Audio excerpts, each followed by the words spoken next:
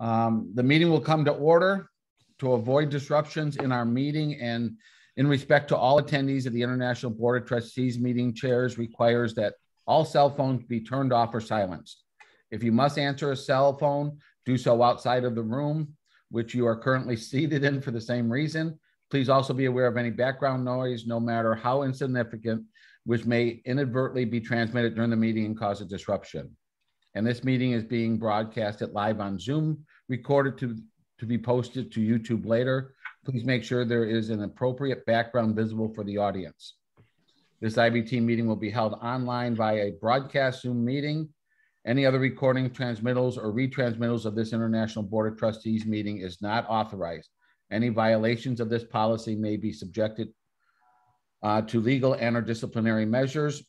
The property proprietary rights of the of our corporation, our members need to be respected. If there are no objections, we will proceed with the meeting without any formalities. Hearing no objections, we will begin the meeting. Okay, and we go to time for the roll call. No, page three. Oh, page three. Okay, hold on a minute here. There we go. At the June 30th, 2018 meeting of the International Board of Trustees, the bylaws Article 8, Section 3 was amended to read the proprietary seminar proprietary seminar and IBT meeting may be combined for each of the three boards of the trustees meetings. The seminar and the IBT meeting have been combined for today. Proposed, proposed rules for this Zoom IBT meeting are any member may speak during this meeting after being recognized by the chair. Members will have a chance to be heard. Uh, all speakers must give their name and office. Remarks are limited to three minutes except where approved by the chair. Board members are to mute their microphones until recognized by the chair. Board members who want to ask a question or make a comment are to use the raised hand tool provided on Zoom. Zoom should remain muted until called upon by the chair. Once recognized by the chair, board members are to unmute their microphones, present the question and comment, and mute their microphones again when they have finished talking. Lure of in-person participation, members were able to submit questions or comments to the IBT through an online form, voicemail, or email. Forms, voicemails, and emails needed to be submitted before the start of the meeting and were distributed to the IBT. They will be addressed during the appropriate discussion. After each motion is presented, feedback will be requested from the International Board of Trustees, followed by the region vice presidents. If there's not any questions or comments from the Zoom audience, the discussion will end when the chair calls for the question and all raised hands will be lowered. Speakers may speak twice on each item, but those who wish to speak a second time must wait until all who want to speak a first time have done so. A, a yellow card will be held up when the speaker has spoken for two minutes. When the three minutes have been used by the speaker, a red card will be held up. The speaker will stop. There will be a limit of 20 minutes for discussion on each motion unless the chair extends that time. If a roll call vote is necessary, the International Recording Secretary will randomly call on board members. Microphones will be unmuted to record the vote and then muted again once the vote is completed. When the chairs call for the question, only the trustees may vote. If there is no objection, these will be the rules of this meeting. Hearing no objection, these are the rules for this meeting. The secretary will call the roll. President Ty Mott, Here, First Pre- Vice President Eric McHenry, Here. Second Vice President Per Hamquist, Present. Third Vice President Karen Fisher.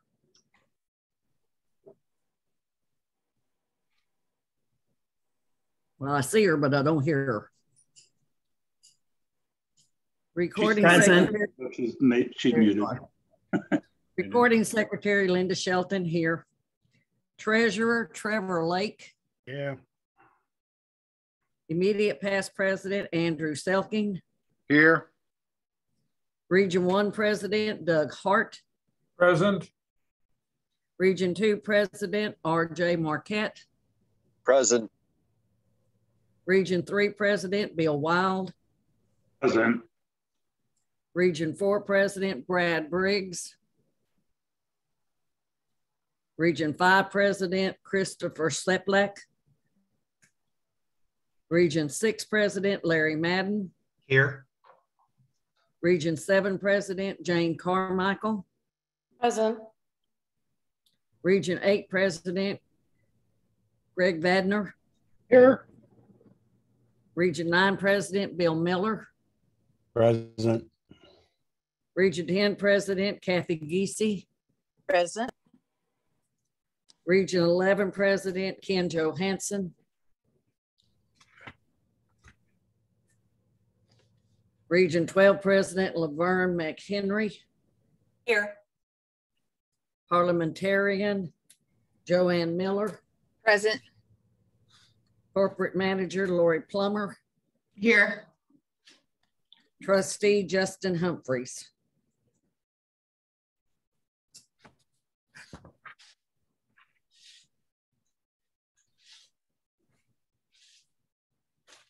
We have some missing presidents. Okay.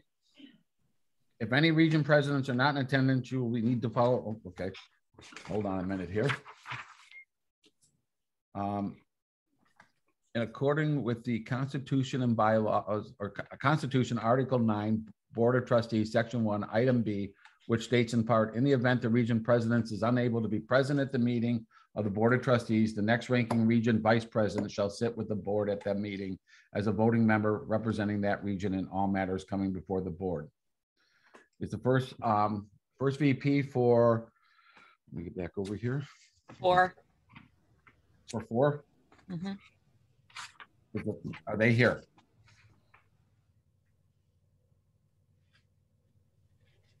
Not hearing anything. Okay, um, then we'll check with, um, Region Five. Wait, back up, Ty. Okay, Is the second vice president of Region Oh. Four. second Vice President for Region Four on the call? No. Nope, okay. Region Five, uh, First Vice President, are you on the call? Second Vice President, I'm promoting him right now. okay.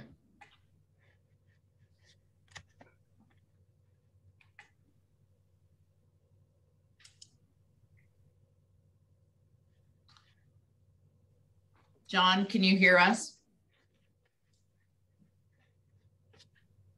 Good morning. Can you hear me? John Deegan.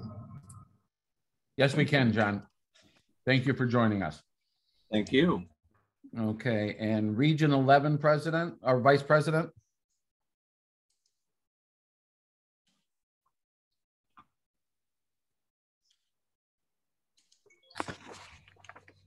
Stephen Parr is being uh, promoted right now. Okay, Yes, I'm on the meeting. okay, thank you, Stephen.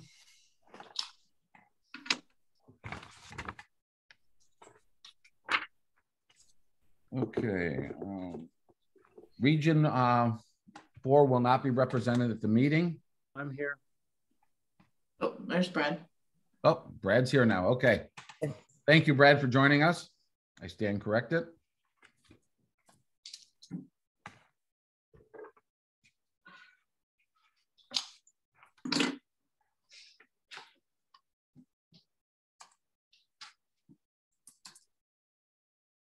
We have twenty-one in attendance, Mr. President. Okay, thank you. Joanne, did you have a question?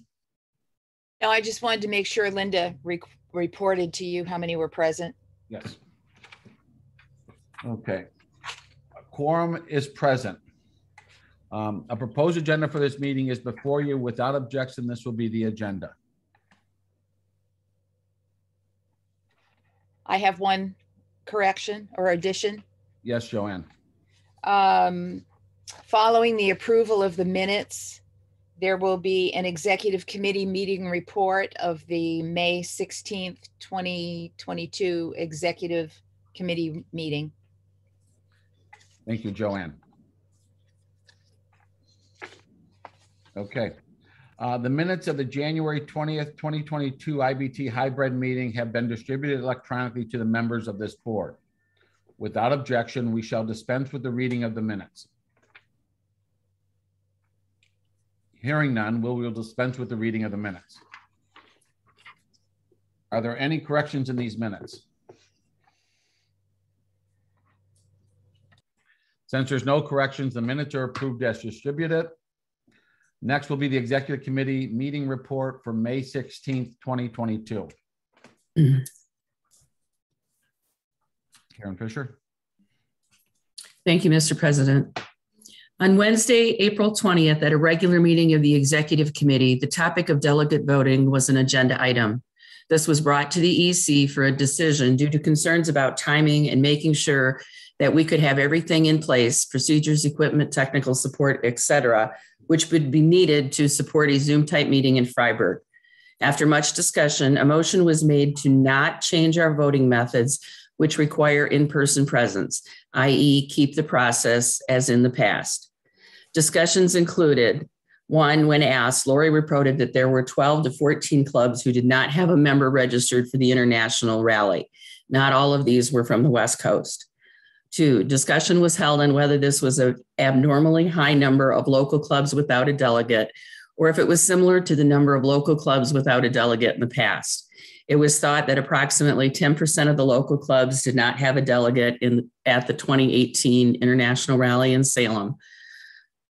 At that time, approximately 120 local clubs or 12 missing delegates, and that possibly six to seven did not have a delegate at the 2021 International Rally in Lebanon. The percentage of local clubs without a delegate in 2022 is slightly higher than these two examples. Three, an example was given of a region president who helped secure an affiliate member for a local club who did not have a member planning to attend the international rally in Lebanon and was able to act as the delegate for that club. I'm sorry. Okay, so the affiliate acted as the delegate. This is a viable option for any club without a member planning to go to Fryeburg. Four, concerns were raised regarding verification of a delegate who is present online and the need for these delegates to be present during the entire meeting. Five, concern was expressed that by rushing a change through to fix the issue of clubs not being able to vote, we could be accused of trying to stack the deck for passage or defeat of two important issues regarding changes to the Constitution. By leaving the voting as is, some local clubs may not be able to send or find a delegate to attend the meeting, but these same rules have existed for several years and everyone is aware of them. Six, yes, the technology exists for a Zoom type meeting to take place, but with verification and all the other stuff needed to do this correctly, we are putting an awful lot of work on headquarters and the people behind the scenes so that we can run the meeting. Seven, it was expressed that we should deal with this type of issue before it becomes an issue, be proactive, rather than we are than when we are facing a vote on such important issues being reactive. The motion passed unanimously. One person was absent from the meeting. Due to concerns expressed by some members of the IBT, an emergency meeting was held on an emergency meeting of the executive committee was held on May 16th to review this topic. A motion was made to rescind the action taken on April 20th and refer the matter to the IBT. Discussion revolved around most of the same concerns raised at the previous meeting. The motion was defeated. Thank you, Karen. You're welcome. During this scheduled meeting of the IBT, there will be no additional reports. We will move on to the business at hand. There is no unfinished business. There is two, three, uh, three items, in uh, three items of new business. Well, the others are going to come up at the, Okay. from the floor. Okay, there's one item of new business then. Motion one is from Karen Fisher and is entitled Transfer Common Cents for Kids Fund Balance and Responsibility from Wally Byam Caravan Club International to the Wally Byam Caravan Club International Foundation. Karen, will you re- please read your motion?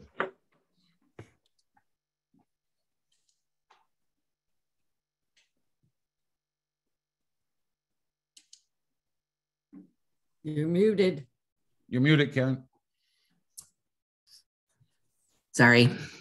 I move that all responsibility for administering the Common Cents for Kids program and associated funds on deposit with Wally Byam Caravan Club International be transferred to the WBCCI Foundation. A restricted fund within the foundation is to be created for this program. Okay, is there a second?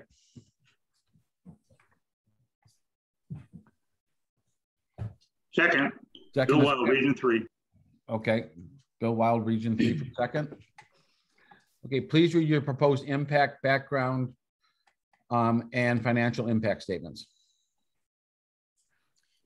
Uh, Purpose or impact, this is to provide a method for donations to Common Cents for Kids to be considered tax deductible. Background, Common Cents for Kids started in 1997 with the suggestion from the granddaughter of a member who had attended several international rallies. Her suggestion was for the youth to collect change from international rally attendees and use it to benefit a child with special needs near the international rally location. Grants from Common Cents are to cover expenses other than medical, such as travel, lodging, etc. And so it started. Since its inception, Common Cents for Kids has collected over $170,000. The program was originally managed by Linda Amy, chair of the Family and Youth Standing Committee. In recent years, the goal was to give a minimum of $5,000 to the recipient. All monies collected at an international rally are intended to be distributed at that rally. Other monies collected throughout the years were deposited at headquarters and kept track of through accounting practices. If monies collected at the international rally did not reach the goal, the shortage was taken from monies previously collected. Currently, the amount of common cents fund equals $19,199.20 Additional interest will be paid at the end of May. If this motion passes, the money would be transferred to the foundation after the interest is paid. Currently, donations to Common Cents for Kids are not tax deductible as Wally Byam Caravan Club International is not a 501c3 organization. If the monies and responsibility for the program are transferred to the foundation, donations to Common Cents would become tax deductible. If approved, the money would be placed in a restricted fund within the foundation so that the money could only be used to meet the original intent of the program. Donations designated for Common Cents would be added to the restricted fund and only used as designated. In addition, in addition to taking on the responsibility for managing the funds, the foundation would take on the responsibility of searching for and selecting the recipients each year. Financial impact. No impact to Wally Byam Caravan Club International. However, balance sheet, which currently shows Common Cents for Kids Fund, would be reduced by the amount transferred to the foundation. Okay, Are there any questions or discussions concerning this motion from the board?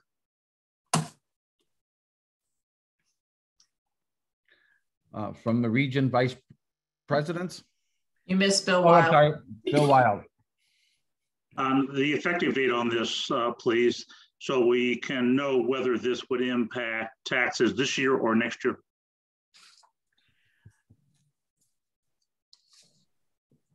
Go ahead, Karen. Um, I suggested that we wait till the interest that gets paid at the end of May be credited to the account and then it be transferred to the foundation. We are in anticipation of um, a positive vote on this issue. I have someone that's currently looking into potential recipients in the Fryeburg area already. So basically by the 1st of June, it should be considered a donation is tax deductible. Okay. Uh, Any uh, questions or discussions concerning the motions from the region vice presidents? Bart Fuller, Bart Fuller? Can you hear us? You Bart? hear me? Okay. Um, I, I, but I'm just trying to understand the history of it. I, uh, obviously it's been done by Youth and Family.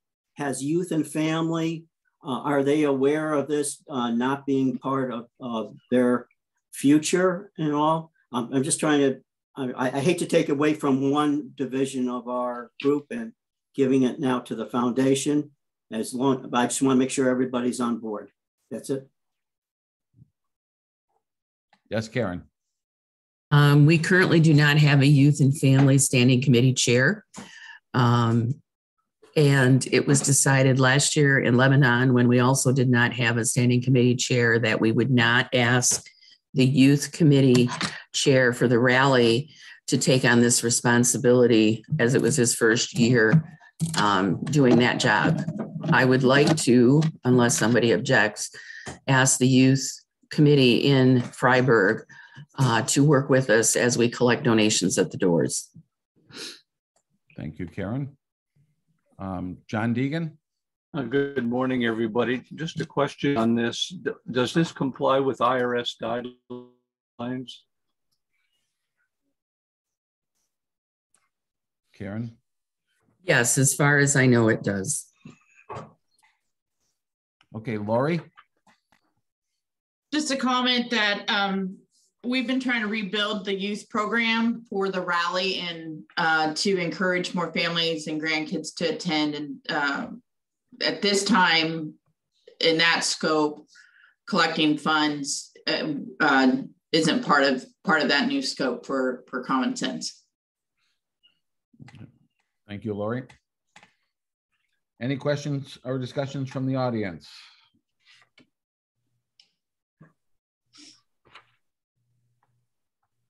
Anybody else there, Lori? Nope, okay. No. Uh, This motion will require a majority vote in the affirmative to pass. The motion proposed transferring the monies from the Common Cents for Kids Fund from the Wally Byam Caravan Club International to the WBCCI Foundation. Are you ready for the question? The vote is now on motion one as read. Without objection, motion one as read will be approved. Hearing none, motion one is approved. Thank you all. And then is there any uh, further new business?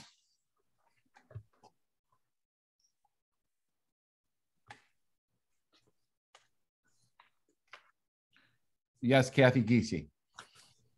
Yes, uh, give me one second here. Um, I have a motion that I would like to present as new business. May I begin? Yes, you may begin, Kathy. Yes, um, and my apologies. I'm still kind of new at this, so please tell me if I read things in the wrong order. Um, the summary is the consistent with the support for electronic voting by IBT members as well as general members. This motion requests a development of a process by which delegates may vote electronically. Okay. The motion is I move the WBCCI International Board of Trustees directs staff to develop and communicate a method for remote participation by delegates in discussions during the delegates meeting, which shall include the validation and remote voting of delegates either by phone or other technology before May 31st, 2022. Hold on one minute, Kathy. And purpose, Kathy, hold on one minute. Is there a second for this? pardon? Is there a second for this motion? I second. Okay, Laverne McHenry, go ahead, Kathy. Can you please read your proposed impact and background and financial impact statement? Yes, uh, background is the WBCCI International Board of Trustees voted to support electronic voting by both the International Board of Trustees and general members. The Executive Committee voted to restrict the delegate voting to in-person only. This motion shall support the option of electronic voting by delegates consistent with the current WBCCI Constitution, bylaws, and Ohio state law as advised by WBCCI External Counsel. The financial impact is minimal. Okay. Are there any questions or discussions concerning this motion from the board?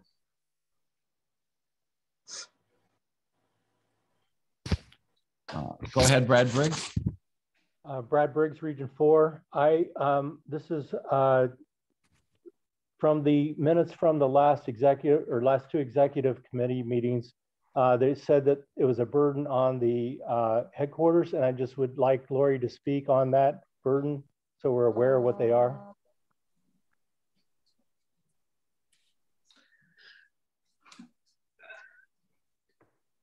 We've got pretty proficient with Zoom over the last several years. Um, I, I don't see it as being a huge burden at all. Um, of course, our role here is to support our members as much as possible.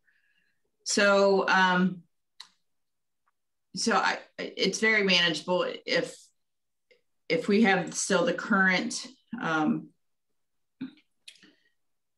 volume. I mean, if we have a hundred and some uh, wanting to vote, then that may be a big burden. But currently, um, I see it being very manageable. Um, Larry uh, Madden? Uh, Larry Madden, Region 6, President. Um, I guess the purpose of this motion would be to circumvent the bylaws that are now in place for delegates to vote at the international rally electronically as instead of uh, being in person. Is that correct? Kathy Giese, do you want to answer that? Yes, and uh, according to external legal counsel, there's nothing um, in our constitution that prohibits this. And so I don't know that I see it as a circumventing it. I would just see it as allowing those members that um, are not going to be able to have their votes presented to have their votes presented. Okay, thank you. Um, you know, years ago when uh, we had to cancel the international rally uh, due to the worldwide pandemic, uh, this was also accomplished because business has to continue. But that was kind of like a once in a lifetime situation. Uh, the current bylaws mandate that the uh, delegates are present during the international rally. And I think that's important. I understand it's a, a burden for folks, uh, myself included, with the price of gas and, and the location of the international rally. But I really think if we continue to go around or avoid the bylaws, what's the purpose of having bylaws? I mean, uh, just eliminate the, the bylaw altogether uh, that you have to be there, which is part of the, the international rallies votes, uh, the, the delegates votes at the international rally in Fryeburg. But the standing rule is that the delegates have to be present. And I, I sympathize because I get it. It's expensive to get there, but I still think that we should follow the bylaws as they are today. That's my point. Thank you, Larry. Um, Tom uh, Smithson. Thank you, Mr. President. If I could address this question briefly. Uh, the Constitution says present, and this issue came up at the Executive Council meeting, and I was the one that asked for a legal interpretation of that uh, our lawyer clearly indicated that Ohio corporate code for nonprofits uh, provides that if the governing body uh, decides that present is by electronic means, that is present, uh, the same as if you were physically there. So that that uh, point is uh, really kind of moot. Thank you. Okay, Laverne McHenry. Right. I, I, I pretty much echo what Tom is saying. We're, we're not changing anything. We're not going around bylaws. We're just asking that this process be allowed at this meeting. So there's, we're not, we're not, our bylaws says presence. It doesn't say you have to be physically present. We've done this uh, several times, not just under uh, COVID. We, we did it under travel restrictions because the the uh, Canadian border was not open, and so we're saying, you know, we have travel restrictions. Uh, the price of fuel for people on the West Coast.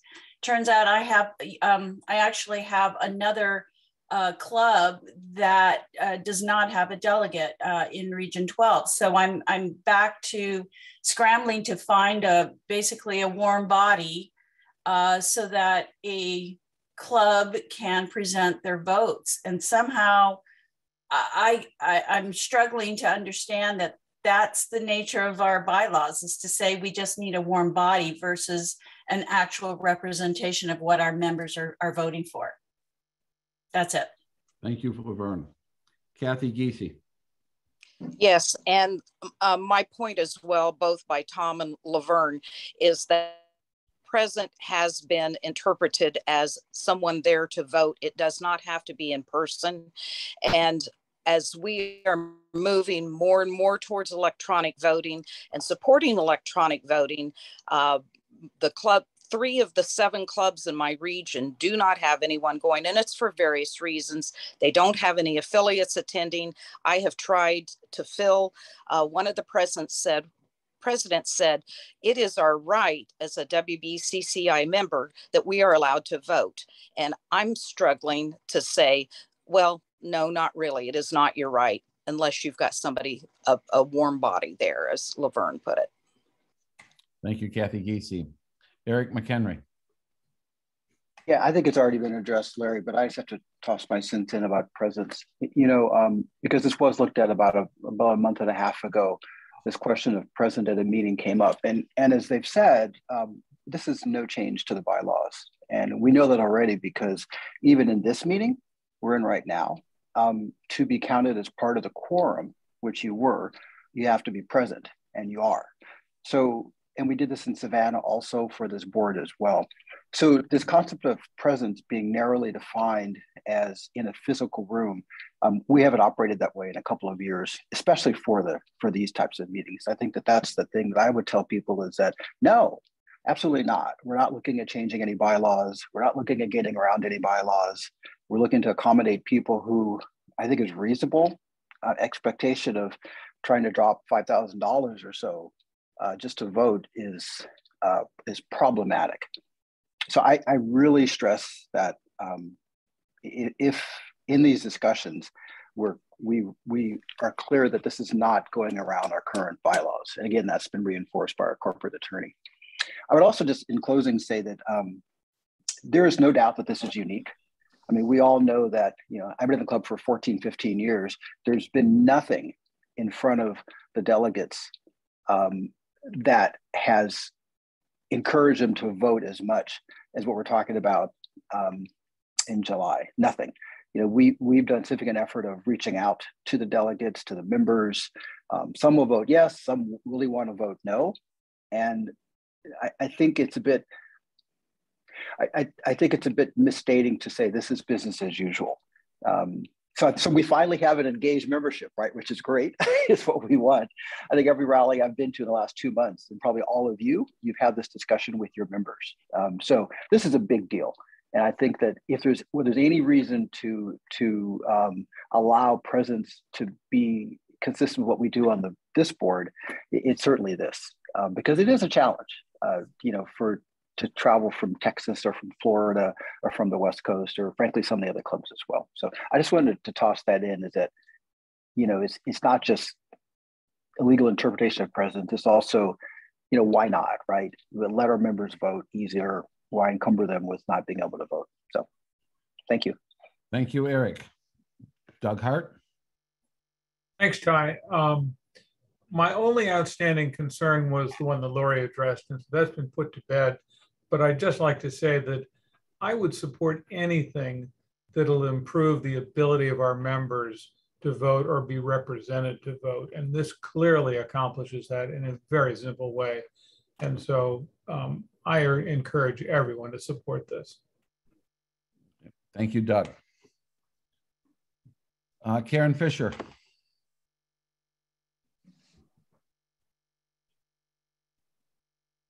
You're muted, Karen. Sorry, I keep trying to obey all the rules and then forget to turn myself on. I have several comments I would like to make. Um, yes, we have the technology, but if you remember back to Savannah, we did have some issues getting a meeting started and it delayed everything by about 30 minutes. I, as I remember, it may have been more, may have been slightly less. Um, yes, we finally got it resolved. We can try to check for those things in the past, but they are, again, if we do this in the future, but we know that things happen. So I'm just going to bring up that concern.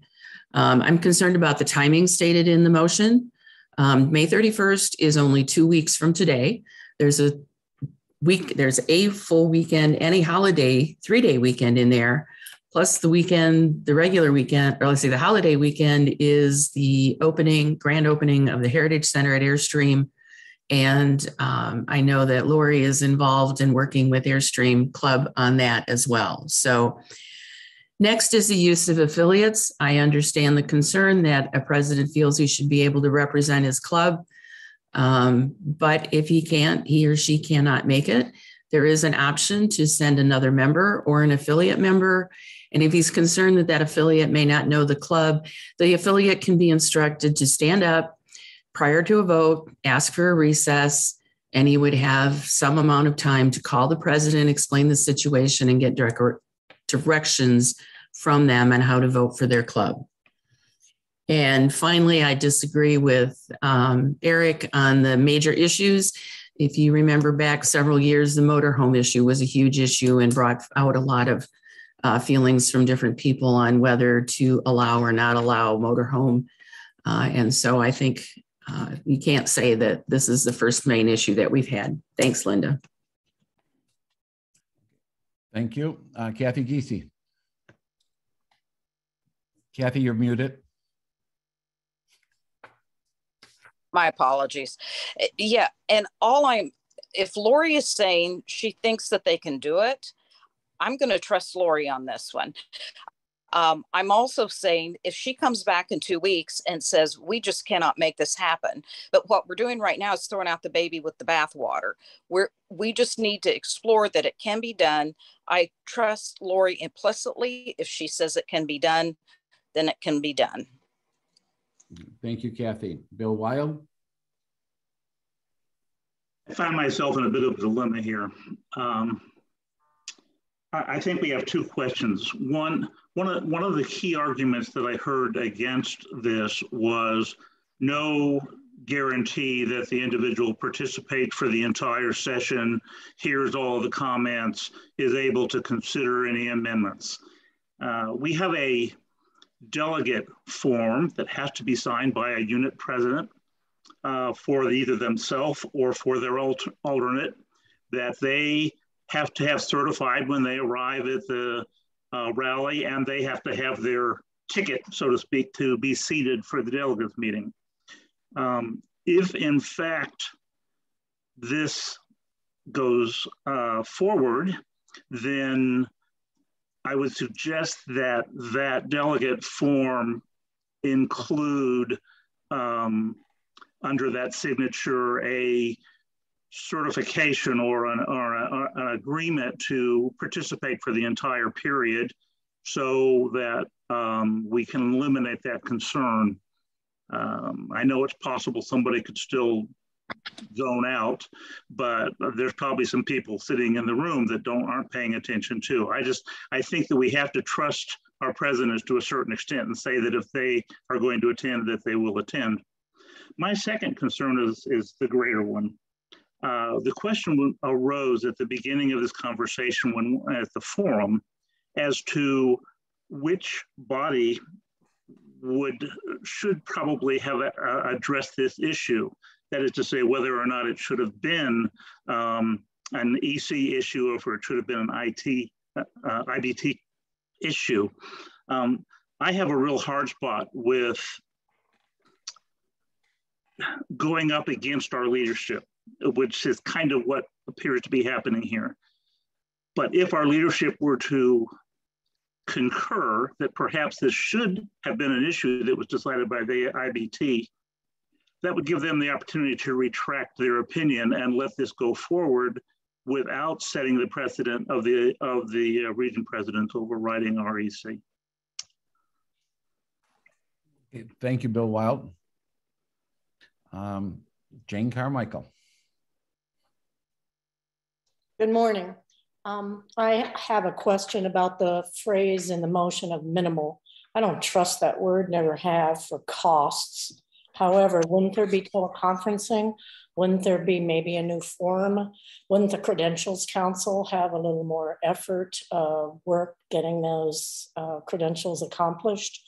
Wouldn't there be potentially with the absent delegates um, a need to verify that that affiliate, in fact, has been an affiliate, not just someone who was recruited, um, someone who is absent at the meeting We'll miss a lot of uh, the communication that's going on.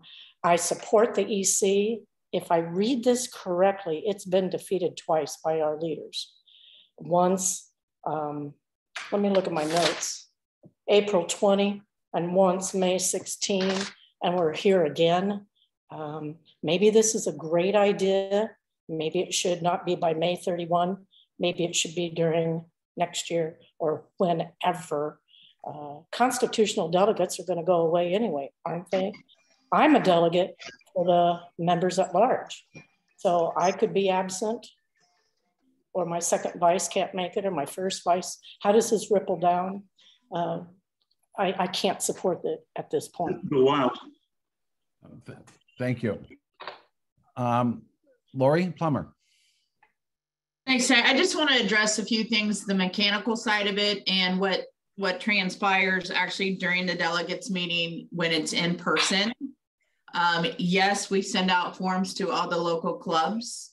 Um, no, they do not bring a signed form with from their president to the actual rally. They will come to the office and we we are handing out forms left and right. So it's not as um, secure as maybe some think it has been in the past. Um, so mechanically, uh, we already have a large account, so it would not add to our cost. It'd be simply verifying what delegate, what clubs need to go virtual. It would be on the Zoom platform. They would either have, um, they can either phone in or um, video in. Either way, they'd have a participant's code, which be a secured code only for that individual, things of that nature. So the mechanics of making it happen are minimal. Um, I don't say easy, nothing is ever easy, um, but uh, it's, it is very doable. So um, those mechanics don't, I mean, you, they can be discussed, but they're resolved. So that's it. Thank you, Lori. Kathy Giese.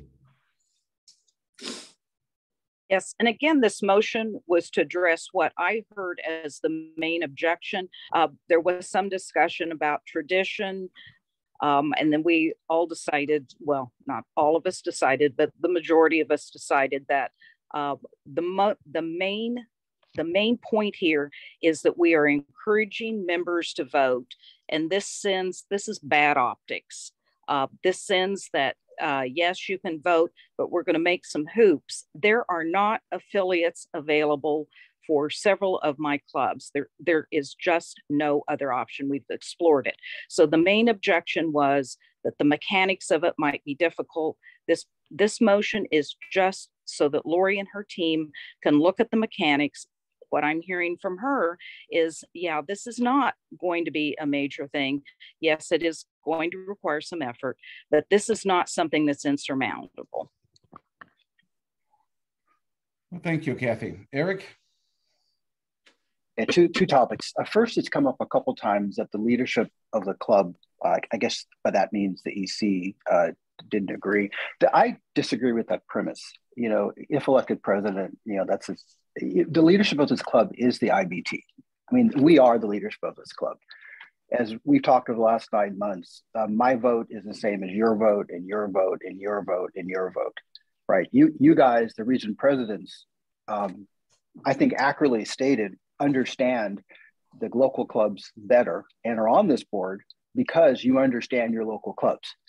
At the international officers, we're focused more on the large club in entirety, right? But you guys understand your local club. Your vote is equal. Um, there is no leadership of the club to go against. I mean, that, that's why we're talking about it now because we make the, the decisions at the IBT. I think that we sort of know this from past discussions.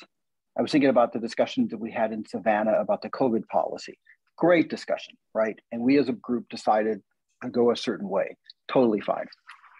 The second thing, so anyway, that's my thought about it. You know, th this is a group that decides. It's not the EC. Um, the EC has actually very limited decision-making uh, capability, and I think that um, that's something we're learning through this. The second thing is that I really am just asking for. I, I would guess I'll say the words in my mind: a compassionate approach to this. We know that we can make it happen. Lori's just stated that. We know that it's within our current bylaws. Um, we've heard that from our corporate attorney. And so it feels a bit, to be frank, uh, not compassionate to ask someone from Las Vegas or Montana to seriously drive 4,000, 5,000 miles, which is probably two weeks of their time in vacation, just because uh, we we choose not to let them vote. I, I look at the I look at the the, the weight of these issues on someone. Sure, it may be more complicated for that person to attend a day on a Zoom call, but I guarantee you that person would prefer spending a day on a Zoom call than two weeks driving back across country to place that vote. And so because we have the technology, because it's in our current bylaws, um, because it's easy to do, really what is the downside? Um, and also because we've established a precedent. I think everyone knows that we're meeting electronically. We as a board have been meeting electronically for well over a year. I think most of us really enjoy it. Um, a number of you took the opportunity in Savannah to, to not have to drive to Savannah for the midwinter IBT. It worked fine. So why would we say it's okay for the board, but not okay from a poor delegate, you know, to spend that much time on the road for, for no, I would say hard, fast reasons. That's my ask of us to be a little more compassionate um, to the people that don't have any options um, to, to vote. Um, so anyway, thanks. That's it for me for now. Larry Madden. This is more of an educational question on my behalf. This is the first time I've received a motion from the uh, maker of the motion in an email. I got it last night um, from Kathy, and I appreciate getting it. But uh, in the in the president's officers classes we've had at the international rallies, it's always been explained that the process for this motion would be if you wanted to make a motion, it was sent to Lori Plummer, and from Lori would then send it to Joanne and to Tom to verify that the um, formatting was correct, the wording was correct, that kind of stuff. And then it would be put on the agenda for the IBT. Uh, to my knowledge, just, uh, this motion hasn't been on the IBT as, as, that I can see, uh, the agenda. So for educational purposes, am, am I wrong in that? Or is it that somebody can put a motion forth from the floor as long as it's been through Joanne and Tom and Lori to make sure the format's correct? Thanks for your help. Joanne, do you want to speak on that? Anyone can make a motion from the floor, but the problem with that is, as you said, there's no guarantee that it is written correctly or there is the correct information in it or they're requesting the correct things because neither Tom nor I have had a chance to review this. So they take a chance in presenting it from the floor, which is their right. Anyone can make a motion from the floor. Tom? Thank you. Yep. Um, I was asked uh, a question about the language of that motion, so I did have some input to it. And I was not. Okay. Thank you. Anything else, Tom? No, no, sir. Uh, Joanne or Karen? Uh, just a question. Um, does that change the requirements as far as uh, how many votes are required to pass a motion that it came from the floor and was not submitted in advance? That coming from the floor would be required two thirds vote of the committee. Does that answer your question? Yes, thank you. Yes. Okay, um, Parrot? Yeah, I just want to state my personal opinion is that I don't think that this discussion is uh, counterproductive to any discussion that has taken place at the EC. We all work towards the same goal of helping our members. And um, I think this is a very good discussion to have. Thank you. Thank you, Parrot. Um, any questions from the region and vice presidents on this uh, motion?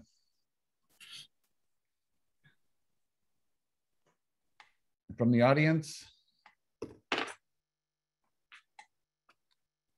Okay.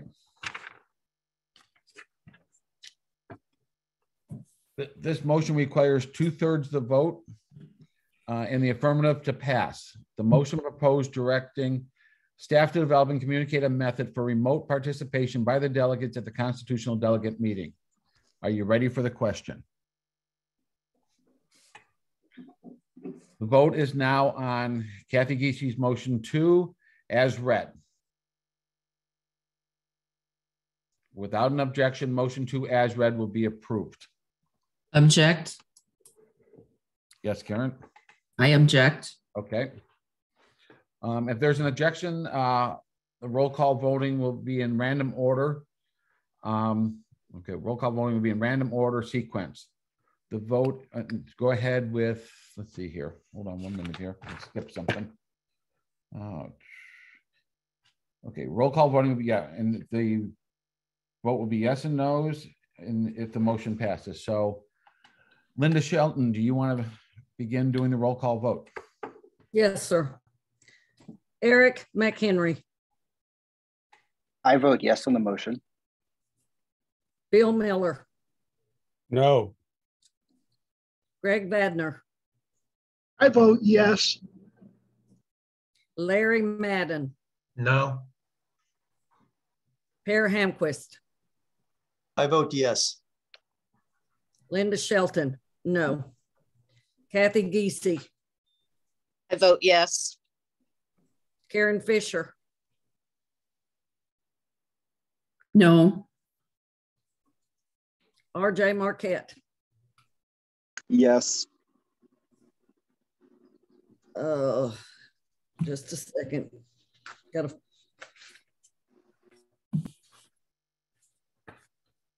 I forgot who's standing in for Ken Johansson. Just a Stephen. Parr. In part. Stephen Parr, okay. Stephen Parr, I vote yes. Uh, Christopher Steplack, That will be, Don Deegan. John Deegan, thank you. Me, yes. Doug Hart, Yes. Jane Carmichael, No, Trevor Lake, No. Andrew Selking, No. Bill Wild, I'm struggling. Um, I abstain. Laverne McHenry, I vote yes. Brad Briggs, No.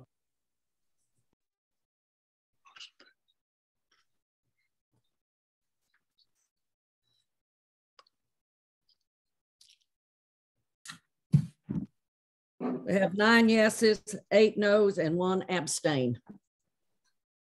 okay, they needed two thirds of the vote for this in, in the affirmative to pass. So this does not pass. Is there any further business? Excuse me, what did you say, Ty? It was eight yeses and it had to be two thirds of vote of the, of the majority. Why would it have to be two thirds majority? Came, didn't, wasn't submitted ahead of time. Because it wasn't submitted, you know, right ahead of time of this thing. It wasn't on the agenda, it came from the floor. It's the content of what it's asking also. Tom, I'm sorry, I. It's the way you wanted it. I would disagree, but that's all right. There was no prior, really, there was no prior official notification that this motion was going to come forward. I believe according to the date on the email to Lori, it was sent to her on the 16th, which was yesterday. Eric? No, I, I agree. I just, this is more of a um, education for me because I may have to be doing this in the future. Um, because it doesn't involve, involve policy or bylaws or constitution, uh, is it still have to be the uh, two thirds? It, it, the reason it's two thirds is because there was no official notice. Okay, so it's a timing aspect then. It's a timing aspect. Yep. Great, thank, thanks, Joanne. Anybody else? Bill Wild? Uh, Joanne, could you by chance be able to cite um, where that two-thirds requirement is stated? Uh, There seems to be some concern or disagreement between the members about that.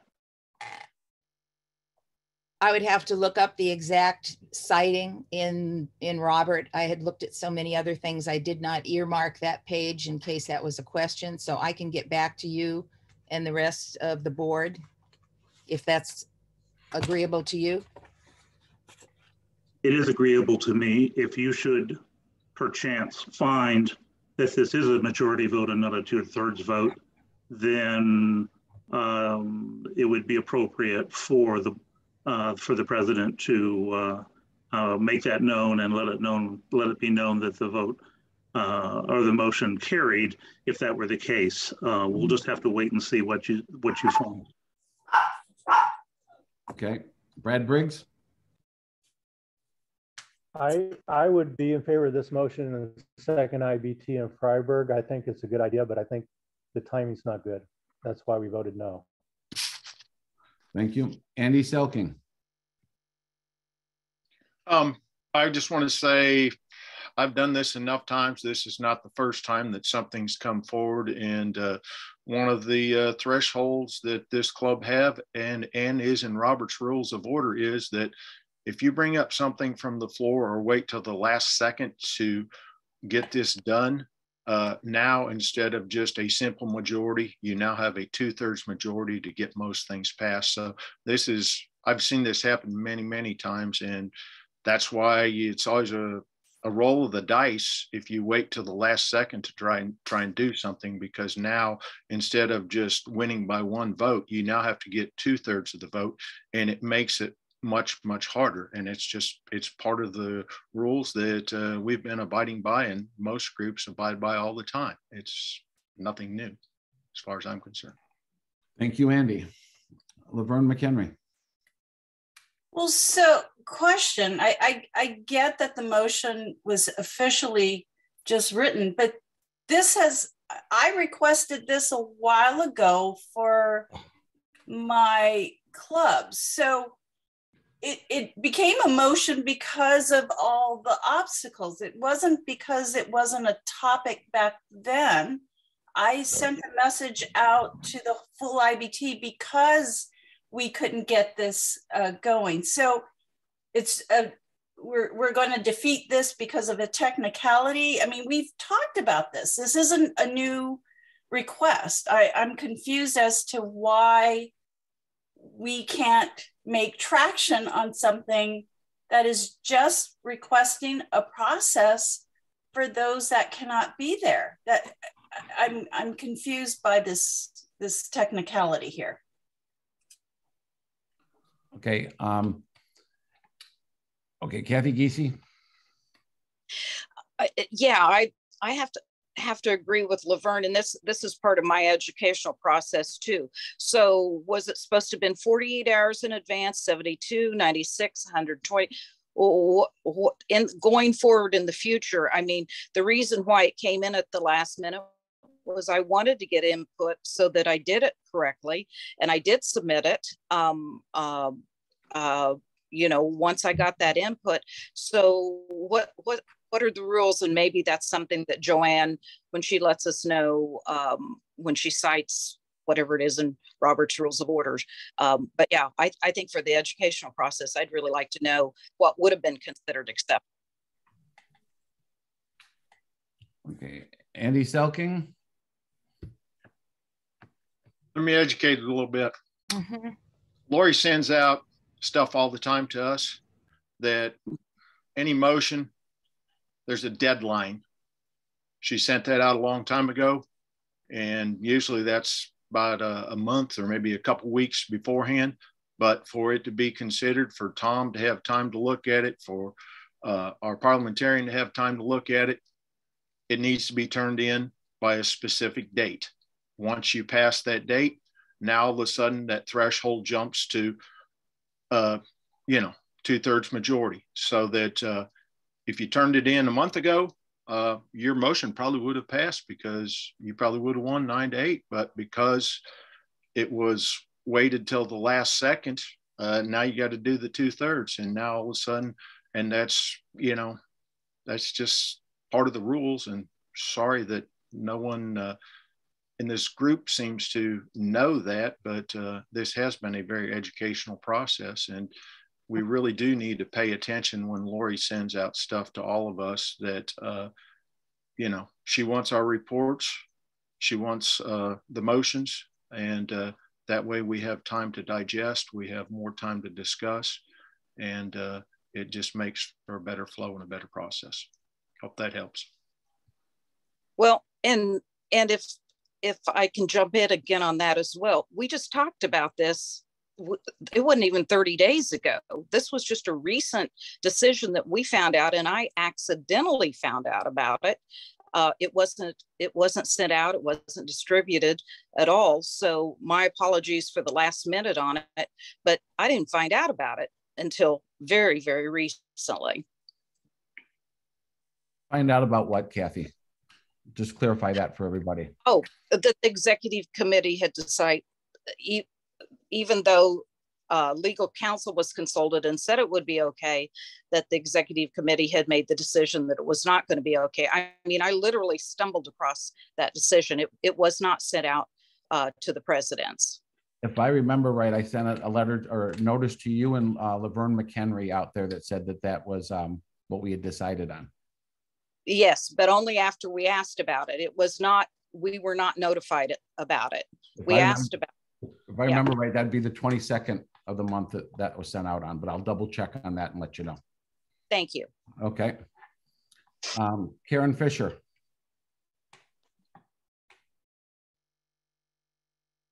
You're muted, Karen.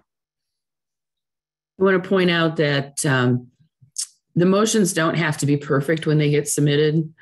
Um, if you go back to my motion regarding common cents, you'll see an R2 in the file name. Um, because I submitted it, Joanne and Tom came back and asked for some changes. I submitted it, there were additional changes requested. So it, the process, the point is that, you know, get it in whatever format it's in, and you do have an opportunity to fine tune and make it better before it gets distributed to the ID, IBT to be voted on. Thank you. Laverne? Again, this is like the chicken or the egg. I- I- How could this motion have been submitted it 30 days, whatever many days ago, when we did not know that the decision from the EC was going to shut it down? How could we have created a motion before it needed to be created? I'm, I'm confused by this it seems that we're going to be defeated on the technicality of the chicken or the egg. So I'm, I'm, and I, I, I just don't understand this. Okay, well, I'm gonna look that up for you a minute. I'll tell you what day I sent that to you. Kathy Geethy, Giese, excuse me.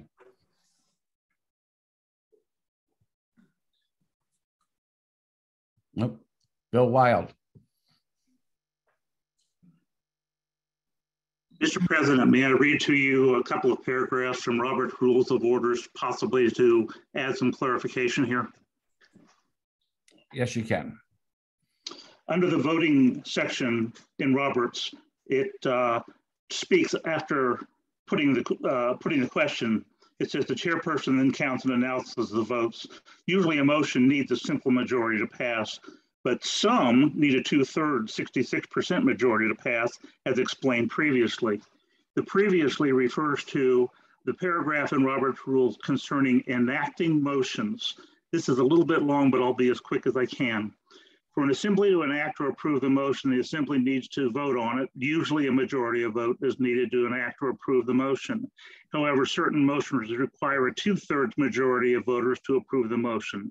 These motions include uh, include motions that, and there are several bullet points, suspend or modify a rule of order, prevent the introduction of a question for consideration, close, limit, or extend the limits of debate, close nominations, polls, or otherwise limit voting, or take away membership or an office. Uh, none of those would appear to apply to this situation. I am not stating a for or against on this. I am reading to you the rules according to Robert's rules. Thank you. Okay. Uh, just to clarify one thing, I sent the notice to Kathy and Laverne on the 25th of April that the EC decided to um, do their uh, vote on the delegates. So that was sent out to them on the 25th. Eric? Yeah, I would say I, my experience with this is in line with Bill said, um, but I think Joanne's got her hand up and she's the official on this one. So I'll just cede to Joanne. Thank you. Joanne? I just, uh, Bill, would you tell me where you were reading, please?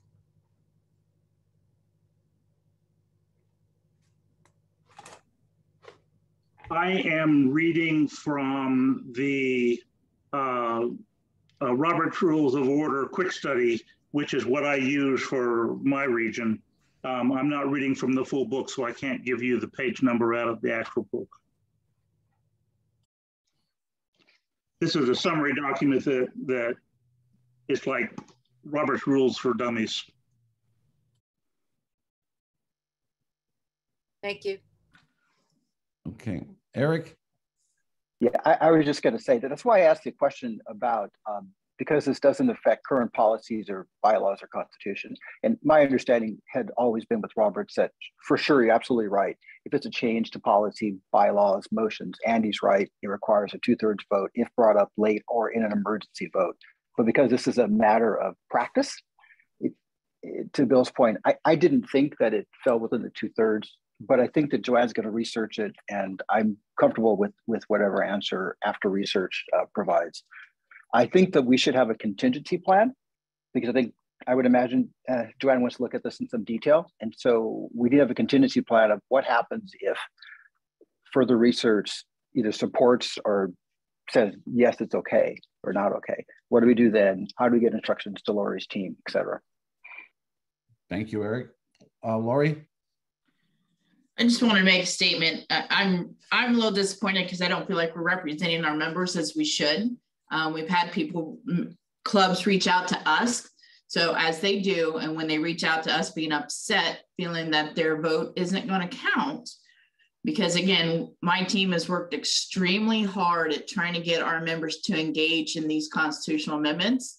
I feel like we've done that job because we have more people asking questions now than we have in the past and want and they want their votes to be heard, I mean, we'll be pushing them back to the board um, to answer those questions. So that's just a statement I wanted to make. Thank you.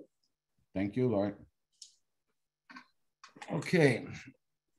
So Joanne will get back to us on that information. And then we will move on to, uh, is there any further new business? Yes, Eric. Yeah, I, I had an easy one, I think. Um, I, I think, Ty, if you're okay, I can forward this to the board. So our ITC, Information Technology Committee, Mark Neidham, chair, um, he's been working hard to understand uh, what options our club has um, with our Google email accounts that are, we have about 350 or 360 Google Mail account that our local clubs use for a variety of communications, and some of you use as well. I think pretty much everyone knows that, that Google has said, sorry, the free plan, uh, you're no longer grandfathered into club. And so the plan had been to reduce the number of email accounts and uh, switch to a different mail service. And I, because this will affect the local clubs in a big way, um, some will be happy, some won't care, some will not be happy, as always. I'd, I'd love to get uh, the board input on this so uh, to Mark, and so Mark and his ITC team can make a decision which way to go. So um, perhaps if I send it to you, Ty, or to Lori to send that document out for Mark, or what, where do you, what do you want, Ty? What do you prefer? Um, I think that, Lori, can you send that document out to everybody? Sure. Okay. Okay, awesome. Thank you, guys. Okay. Um, we will now have announcements from the board members. Please be mindful of the time as a visual reminder of the time. The chair asks, um, uh, oh, hearing on May 17, 2022 is adjourned. Okay, now we will have announcements from the board members. Please be mindful of the time as a visual reminder of the time. The chair asks that a yellow card be held up at the two minute mark, a red card at the three minute mark. Let's start with region 12.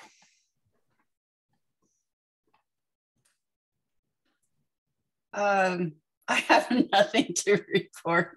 Sorry. I can understand that. Uh, okay, uh, Region 11.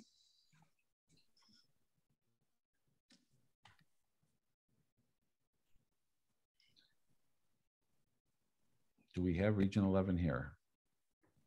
Uh, yes, can you hear me? Yep, now we can hear you. Okay, Region 11 has nothing to report. Okay, Region 10. Region 10 reports we are deep into the season. Our big region rally is coming up June 1st. Uh, I'm very pleased that Eric and Laverne are going to be able to join us for that, uh, but everything's going really well. I've been very busy uh, trying to talk to people about the amendments and basically just saying, I don't care which way you come down on it, but please vote, become involved. That is your right as a WBCCI member. That's it. Thank you very much, Kathy. Uh, region eight. Nine. Oh, nine, I'm sorry. Region No nine. comment. No comment, no report. Okay, then. Uh, region eight now. Yes, uh, Region 8, we just finished our region rally. Thanks to Linda for joining us.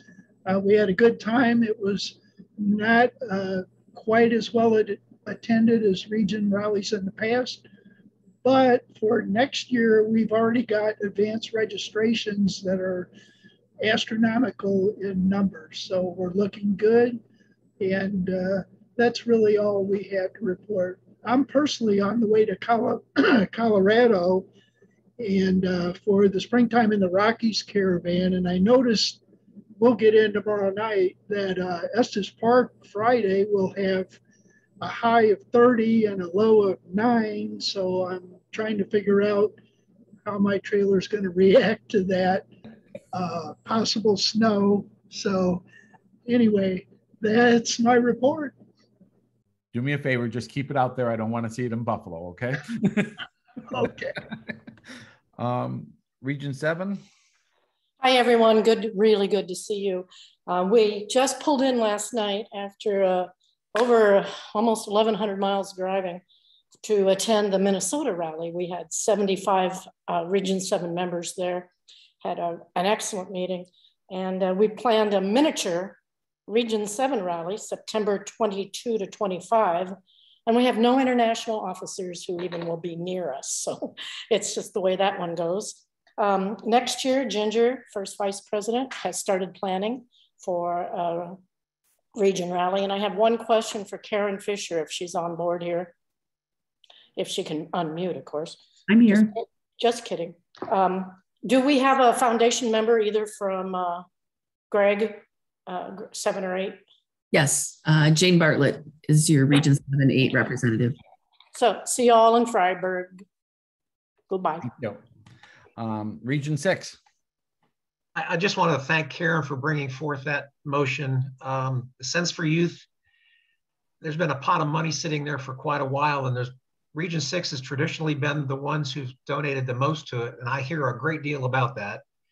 Uh, they want to know how come the money's not spent. It's not helping anybody sitting there. So, uh, Karen, thanks very much for bringing that forward. Let's put that money to good use. Thank you.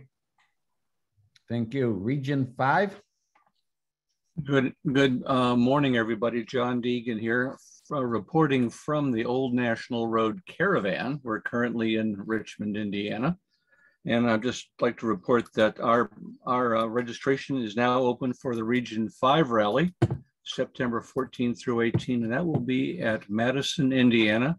It's right on the Ohio River. And the same weekend we are there, uh, vintage Thunder racing boats will be on the Ohio River. So it should be a pretty exciting rally for all participants. And thank you very much, Ty. Thank you. Uh, region four. Hello, Region 4. This is Brad Briggs from Region 4. We are in the throes of our current rally and looking forward to seeing Ty towards the end of the week, I believe. You are If- coming to. you're If coming, everything goes right with my truck, my truck's in the shop right now, but I'm planning on being there Friday. Okay.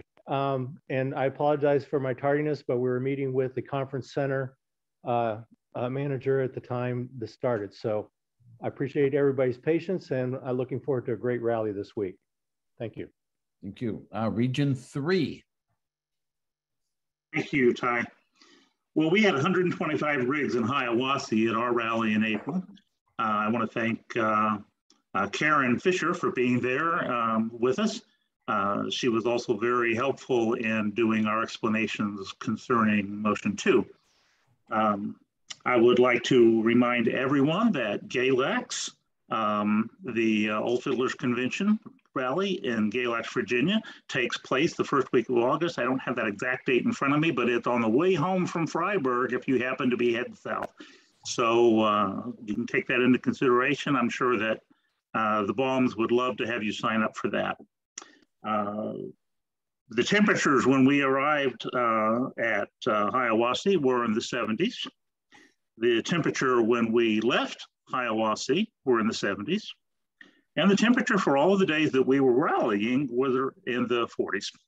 So, you know, sometimes things just work out that way, but we had a good time nonetheless. Uh, that's all I've got. Okay, thank you. Region two. Hello, I'm sitting here in a campground in Delaware, um, watching some WBCCI members play cornhole across the way. Uh, we have the Region 2 rally starting later this week, and I think Pear is uh, planning to attend. Uh, so we're looking forward to that. And I think that's all I have. Okay, thank you. Uh, region 1. Hello, all. Um, we had our region gathering at the Sandwich Fairgrounds, Sandwich, New Hampshire, which is about 35 miles from Fryeburg. And I know there are at least two or three groups planning to rally there before Fryeburg, and I want to report that all is in order at the Sandwich Fair. And on behalf of everyone in Region 1, and particularly Ty Mott, I wanted to look forward to welcoming you all to the International Rally in Fryeburg. It's going to be a great event. The weather is going to be perfect. I've seen the early forecast, so come along. It'll be good sleeping weather at nighttime. I guarantee it's not going to be too hot. um, okay, let's go to, um, let's see, Lori Plummer. I'm good right now. Thank you. Okay. Uh, the next one would be, um, let's do Eric. We'll hop around. Sorry, I was I was uh, muted there. Yeah, I just have to say I I thought this was a wonderful discussion. You know, I, I look back on past years, and you know the we haven't had I think as many good robust discussions uh, with the board. So I'm I think it's great. Um, I think it's really good. I, I just want to say a couple other things. Um, I, I don't know if you guys have taken a look at the third quarter results that Lori sent out a little while ago. Uh, I think it's important that we start looking at that. We're going to start looking at our 22 23 fiscal year budget shortly. Um, so take a look at the membership growth. I think Lori has stated a couple of times that uh, our membership count is higher than it's been in I don't know how many years. Uh, we're on the up, still going up, uh, which is great news. Uh, but we have to develop a balanced budget for the upcoming fiscal year and leave a little bit in reserve just in case the growth doesn't continue to be this steep. I think all of us expect that the growth in our membership will probably not be this steep in the future because some of it is pandemic. But but anyway, um, and the last thing is that uh, on Thursday there's a another uh, roundtable, I guess we're calling it, um, on the uh, Constitutional Amendment number two mainly. And uh, I encourage everyone that if you have questions or if your members have questions, really submit them. We did a kind of a, a planning discussion yesterday, Ty and Andy and John and, and a couple other people, um, and sorry, Jim. And we, we got to make sure that the, that the questions that people are asking really get brought up at that meeting. Um, the group on that roundtable is going to be probably 95% in question answering mode as opposed to stating things. Um, and so it's really dependent on the questions that come in, and especially the ones that people consider the cons. I, I think all of you have probably read some parts of the social media discussions. And for anyone who has a potential con or question, make sure that they ask it, that they bring it up, um, post it ahead of time. We just want to make sure that every question gets answered, and that will be the focus of it. There's nothing hidden. Um, so anyway, I'm just asking all of you to either send your questions in if you have them still, if they haven't been answered, or ask the people that you speak to to, hey, look, call in, dial them in, send them in. Um, this is exactly what this is for. So thank you. That's it for me. Thank you, Eric. Pear? Yeah, um, looking forward to uh, join Region 2 and uh, we're heading hit, heading out uh, tomorrow morning. Um, another uh, point here is that we've narrowed down the sites for the 2024 rally to one. And uh, I hope that a motion will be put forth to the IBT uh, for the 16th of August meeting with more details. And uh, for the venue we have, uh, we have two potential dates. And depending on how the voting goes, oh, shaking her head. All right, then. More details to follow. That's it for me. She's shaking her head. Yes, Perry, you got it right. okay, then let's go to Karen. Um, I want to thank Region 3 and Region 9 for inviting me to their rallies. I had a great time at both of them, enjoyed meeting all the people and renewing some old friendships. Uh, and I'm looking forward to being at the Region 4 rally this week. That's all I have. Thank you. Uh, let's go to, uh, let's say Linda next. I know you're biting at the bit to say something, Linda. Well, I just want to thank Region 8 for such a fun time. And I got new dishes. I got a new kitchen when I got home, and they had the, uh, what did was that? An auction? Yeah, an auction. And so I got new dishes. And so I'm a happy little camper. Thank you, Greg. I really enjoyed it. Well, that's good. Um, let's le- go to Andy.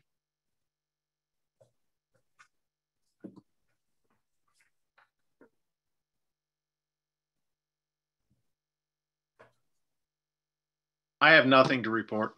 Okay, then. Uh, let's see who else we got left. Joanne. I have nothing to say at this time. Okay, did I miss anybody that from the EC? Trevor. Oh, Trevor Lake. Yes, where's Trevor at? There he is. Yeah, I have nothing. Okay.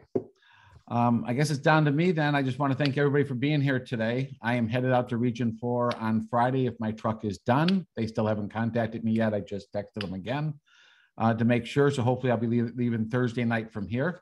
Um, and then after that, we will be headed back to Jackson Center, Ohio for Memorial Day weekend for the Heritage Center, which most of the EC will be coming in from that. Um, we're looking for a great time there and it's going to be a lot of fun. And then the Heritage Center will be opened up to the public if everything goes according to plan with COVID regulations and stuff. So I want to thank everybody for today's discussion. It's been a very good discussion. Okay.